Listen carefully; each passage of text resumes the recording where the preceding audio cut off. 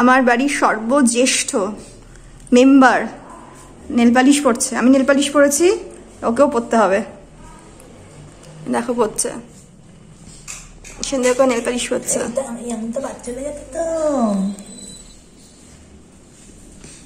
পদ্মাসনে বসে nail polish পড়ছে ও খুবই স্বাস্থ্য সচেতন।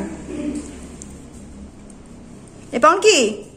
সবাইকে একটু বলে দে। হ্যাঁ। তাকিয়ে বলো তাকিয়ে বলো তাকিয়ে বলো। বল।